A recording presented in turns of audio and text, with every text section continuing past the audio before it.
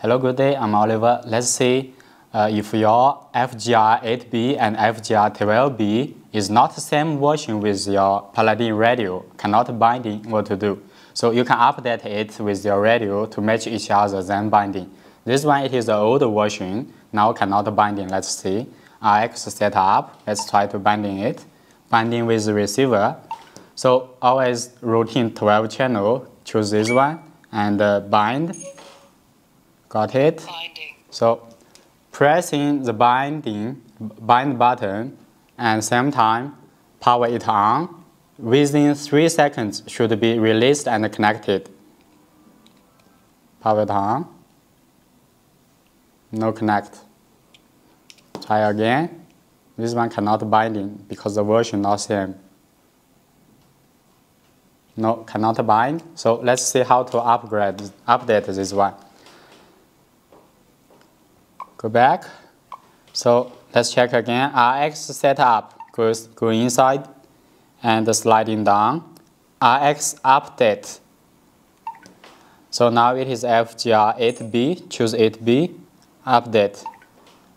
Please connect FGR 8B and enable to enter the mandatory update mode. OK. So for updating to match with the radio, you have to press the bind button and then power on, hold more than 10 seconds. You see the quick flashing red light changing to slow flashing, it is okay. 10 seconds, now it's quick flashing.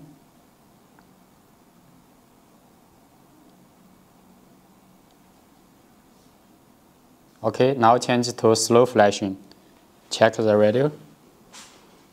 Updating, 100%, wait.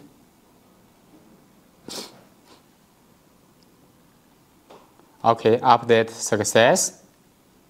Wait, let's see.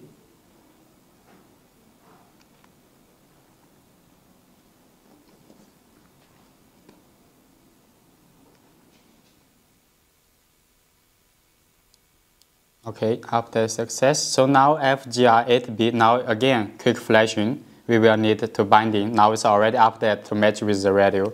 So same process for FGR12B. So you choose FGR12B to update here, yeah.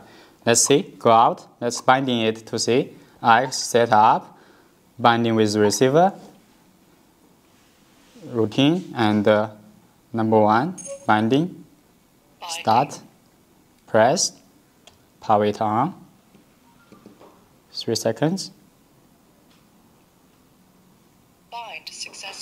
Bind successful. So now it is already binding with it. You see, stopped flashing. It's already connected to the receiver uh, with the radio. So now can operate with your models.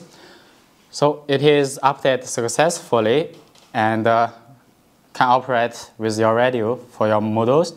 So same process for, for this FGR12B. Okay, disconnect. This one already can so now signal not lost because I power it off.